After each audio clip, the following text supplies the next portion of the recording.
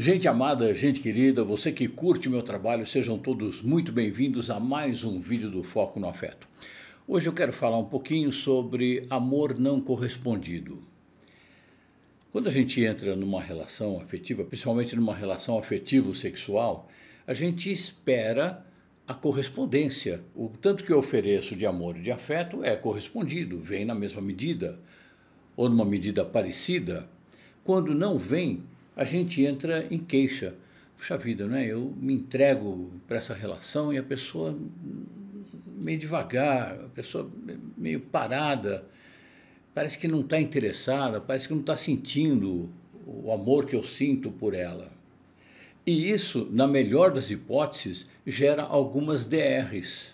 O casal senta para conversar e diz: Olha, não estou sentindo a recíproca, parece que você não está tão animada ou tão animado, parece que você não está eh, tão inteiro na relação quanto eu estou. Aí outra pessoa pode dizer, não, está tudo bem, eu estou sentindo muito amor por você mesmo, é que é o meu jeito, né? É, é, é, é como eu vivencio a relação afetiva. Eu te amo e exerço esse amor nesse ritmo, desse jeito, eu sou assim. Bom, a dinâmica amorosa de interação afetiva não está saudável para mim, não está legal. Aí na conversa, olha, entendo que é o seu ritmo, não é o meu, então para mim não funciona. E aí para a relação. Agora, quando a gente sente um amor, aquele amor gostoso, grande, intenso, e acontece isso, essa não recíproca, fica muito difícil o desapego. Porque é muito difícil hoje em dia, nessa humanidade bélica que a gente ainda está vivendo, você encontrar um amor, você encontrar alguém que viva uma comunhão afetiva com você. É muito difícil, é muito raro. Nem a gente está tão preparado assim, é que às vezes a gente tropeça e acaba encontrando um grande amor. Não há um preparo nem da gente e nem da outra pessoa, das outras pessoas de modo geral. Então, o fenômeno amor está acontecendo ali. Existe uma comunhão, existe uma grande afinidade de alma, eventualmente de corpo também, mas as dinâmicas são diferentes. Um casal, quando percebe essa diferença, pode sim procurar uma terapia de casal. É extremamente recomendável que procure. Uma dessas terapias, no meu entender, precisa ser a terapia tântrica para casais que é essencial e tem resultados maravilhosos quando os dois topam, quando os dois concordam com isso. Quando procurou-se todas as ajudas, eh, todos os recursos e a coisa não está indo, a coisa não vai, então aí não adianta insistir. Há uma diferença na dinâmica da vivência amorosa. O interessante, o saudável melhor falando, é a separação. Porque na medida em que aquela pessoa que sente que não é correspondida na dinâmica afetiva, a autoestima dela começa a ir para o lixo, vai numa espiral descendente e vai para o lixo, vai para o esgoto. A pessoa perde a, a, a, o autorrespeito, ela está concedendo numa entrega amorosa indigna, porque não há a dinâmica e é importante que haja a dinâmica. Muito bem, este é um caso em que a gente tem amor dos dois lados, mas uma das partes tem uma dinâmica pessoal de vivência amorosa mais devagar do que a outra, menos intensa, ou não conseguiu entender a linguagem da relação, a linguagem corporal, música de voz, carícias, atenção, são inúmeros os detalhes que compõem o exercício pleno de uma relação amorosa, amorosa de verdade. Existe o caso também de ah, uma das pessoas não ter inteligência emocional e maturidade emocional para vivenciar o amor que de fato está sentindo. E aquela que se sente não atendida, eventualmente nessa hipótese, tem essa inteligência emocional. Então a outra pessoa ali, ela, ela não, não tem percepção, é imaturidade no caso. E a outra pessoa não tem maturidade emocional, não tem inteligência emocional, não, não cresceu ainda, não está pronta para vivenciar o amor. O amor existe, mas não existe a inteligência emocional, a percepção, a capacidade de entrega. A pessoa ainda não entendeu a dinâmica da vivência de um casal de um modo geral e muito menos daquele específico casal do qual ela faz parte. Outra configuração também em que o amor não é correspondido satisfatoriamente é quando ambas as partes não têm o preparo emocional, repito, inteligência emocional, experiência e tudo mais que é necessário para se viver um amor de uma forma saudável, os dois não estão maduros, não estão prontos para isso. Então, ainda na hipótese de existir um grande amor, mas não existe o preparo sequer para perceber a profundidade desse amor a pessoa, as pessoas no caso, não tiveram vivências suficientes. E não necessariamente vivências amorosas. Podem não ter tido, ambas as pessoas, nenhuma vivência amorosa anterior. Mas não tem essa percepção do amor.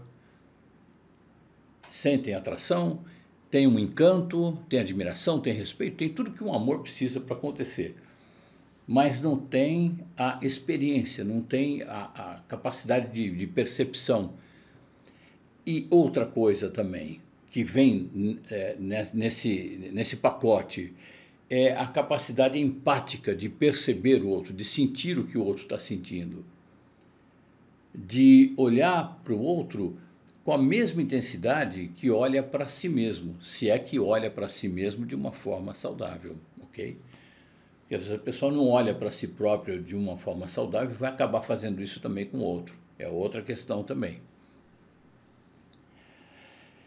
E tem aquele caso que é o mais clássico, mais comum em termos de queixa, queixas de amor não correspondido, é quando uma pessoa sente um amor imenso pela outra pessoa e tem certeza absoluta que aquele é um grande amor.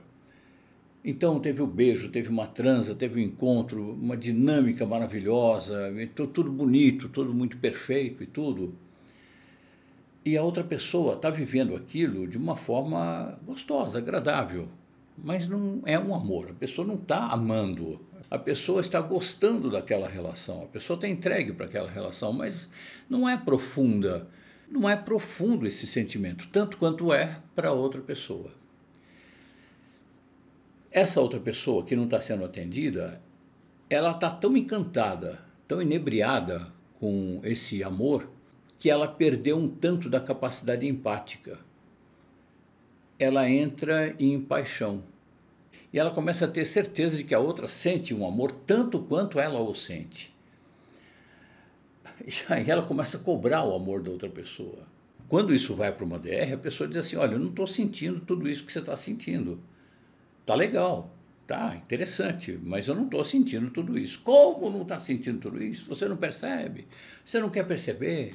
Você quer me usar? Você está sentindo a mão, você está se negando, isso é muito cruel e tal.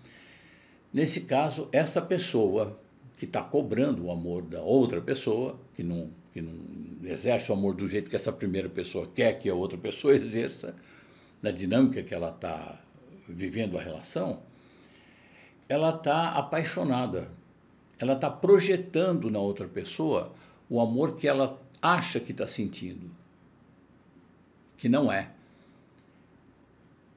Nesses casos, o que eu percebo é que não existe amor não correspondido.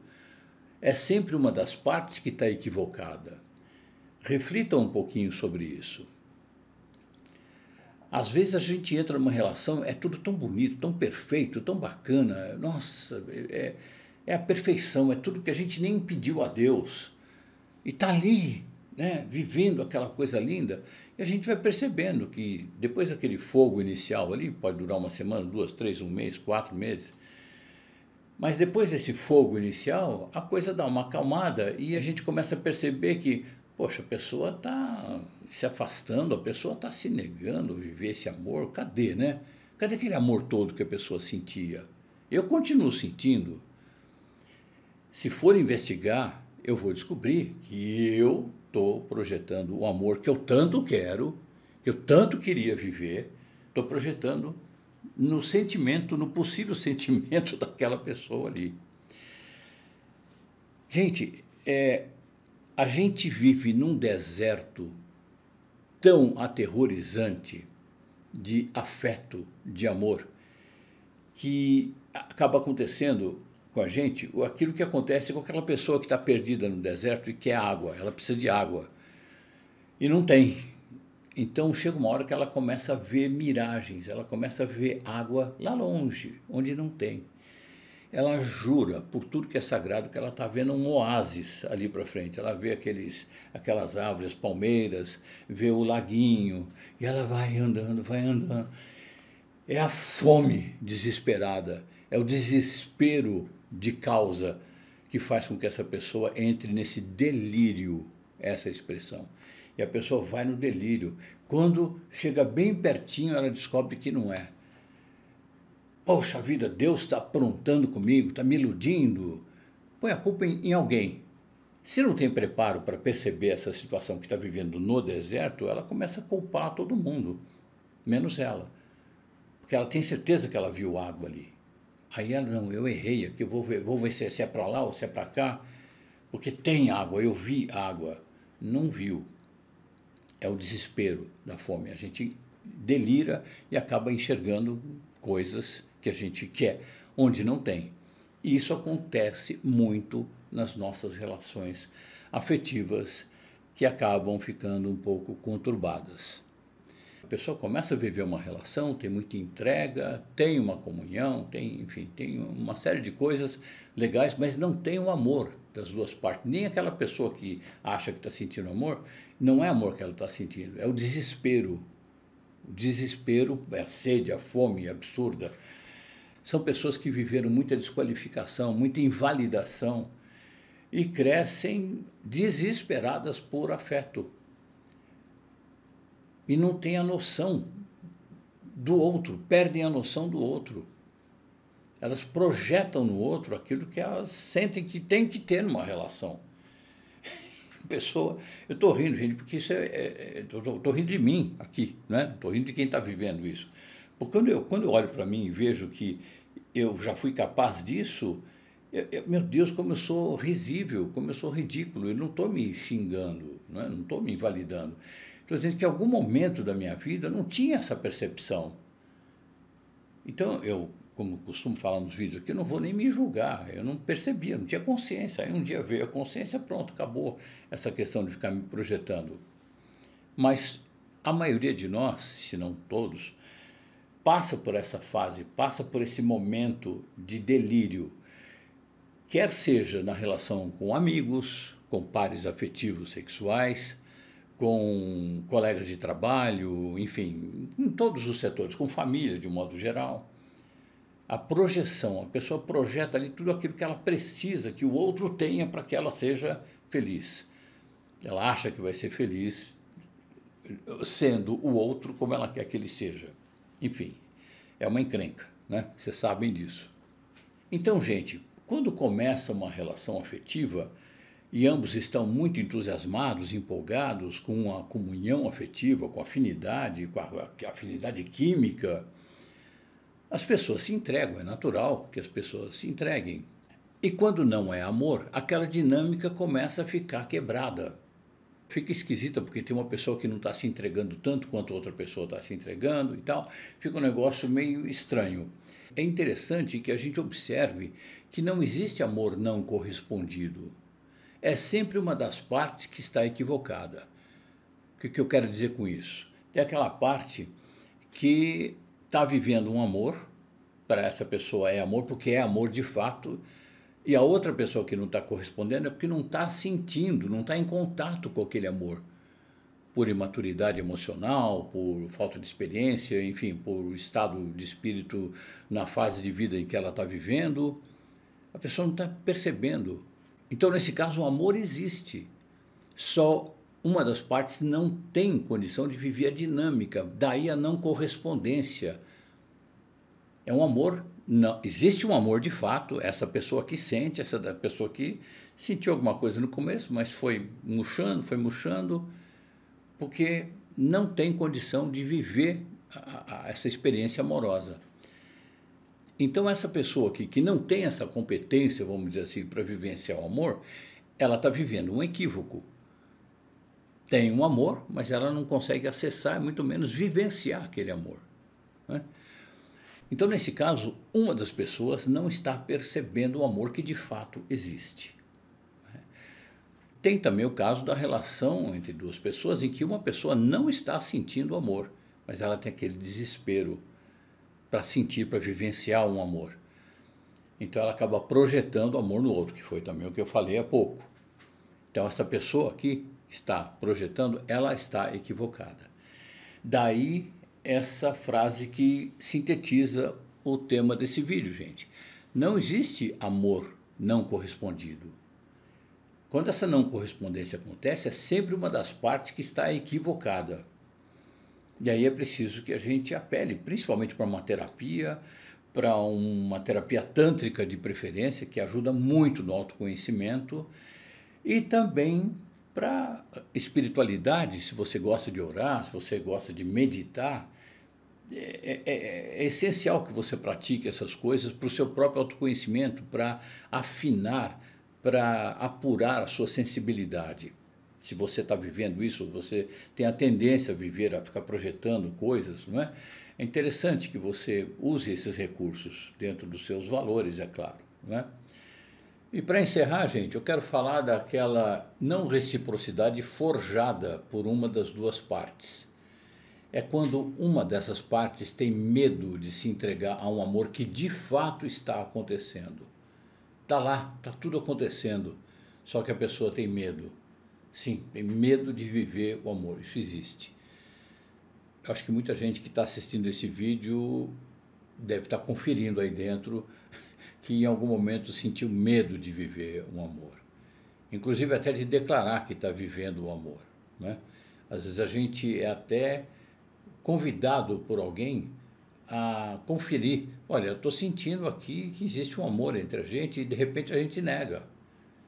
Ou porque não é conveniente, ou porque a sociedade não vai aceitar, ou por isso, por aquilo, a gente dá um monte de desculpas. Na verdade, é uma covardia. A gente se nega a viver o amor. E quando a gente se nega a viver um amor, voluntariamente, conscientemente, a gente não percebe, mas a gente está se matando um pouquinho. É que nem esses vícios em comida que é ruim, é, vícios de cigarro e por aí de droga. A gente está tirando um tanto da vida, né, da vitalidade da gente, quando a gente se nega a viver um amor que de fato ali existe. Eu deixei por último para falar dessa não reciprocidade forjada, porque é muito frequente isso acontecer. Às vezes você está sentindo um amor que de fato existe ali em relação a outra pessoa e você vê que ela teria o preparo para viver. Tem a química, tem tudo. É, é, é uma coisa encantadora. Só que de repente a pessoa puxa os dez freios de mão, desce desse carro bendito do amor e simplesmente se nega a viver. E não fala nada ou dá uma desculpa bem esfarrapada, e aí você fica ali indignado, indignada, né? Poxa, mas como? Essa pessoa está negando viver o amor que de fato existe. Você sabe que não está em paixão nesse caso. Você sabe que está amando mesmo, que outra pessoa também está amando. Houve uma comunicação de alma para alma, além do corpo, muito grande, impressionante, absurda, profunda, linda. E a pessoa negou. Por causa desse fenômeno, eu acabei escrevendo um artigo que virou um capítulo do meu livro Somos Mais Interessantes e que eu faço questão para encerrar aqui esse vídeo que fala sobre amor não correspondido, contar, relatar aqui sobre o que eu percebi que acontece quando negam o amor. E aí eu dou um, tremendo bem-vindo ao clube Todos nós, em algum momento na vida, incorremos nessa covardia em relação a viver o amor. Vamos lá. O título do artigo é Cuidado ao pedir um amor na sua vida. Ele vem. Vai curar todos os seus desalinhamentos. vai colocar você em contato com uma sensação de realização e plenitude que você jamais imaginou ser possível. Mas logo que ele chegar, se você deixar esse amor entrar em sua vida, vai causar um transtorno absurdo. A começar pelos seus valores. Você viverá um tremor existencial constante. Uma parte de você vai querer aquilo mais do que tudo, e outra parte em você, que não é você, está em você, você vai querer aquilo bem longe de você. Dois vetores, o de vida e o de morte, simultaneamente. O amor desestrutura todos os nossos alicerces artificiais. Aí você verá o quanto está comprometido com essa artificialidade e o quanto está despreparado para o amor, que é a nossa natureza. Você passará um tempo em meio a um terremoto interior. Sentirá cada placa e subplaca do terreno formado pelos seus conceitos em permanente reacomodação. No começo, você vai pensar que isso vai passar e que um dia a estabilidade vai voltar. É engano, viu? Não volta não. Quando decidimos pelo amor, decidimos aceitar mudanças constantes sobre as quais o nosso ego não tem o menor controle. O ego dá Deus ao controle e o ser assume a direção. O amor é lindo para nossa saúde. Para o nosso ego medroso, ele é imprevisível, inconstante, incontrolável, desestruturante, apavorante, inebriante, intrigante, desconcertante, palpitante, decepcionante, perturbador e etc. Resta não nos identificarmos com os desconfortos trazidos pelo amor. São desconfortos que afetam apenas a parte viciada em controle dos nossos egos. O amor é a nossa maior identidade, é o que, em essência, nós somos. Cuidado ao pedir um amor em sua vida, porque ele vem. Muita gente se surpreende não tendo coragem para vivê-lo e, direto ou indiretamente, acaba pedindo delicadamente que ele se retire. Se você aceitar o amor na sua vida, você correrá o aterrador risco de se tornar uma pessoa realizada a despeito de todo o imenso container de detritos morais e emocionais que você vai ter que jogar no lixo para viver esse amor na sua plenitude. E fica a pergunta: você está preparado para ser você? Isso define o seu preparo para o amor. Não existe amor não correspondido. É sempre uma das partes que está equivocada. Até mesmo aquela pessoa que foge do amor com o tempo, ela vai descobrir que essa fuga foi um grande equívoco. Foco no afeto.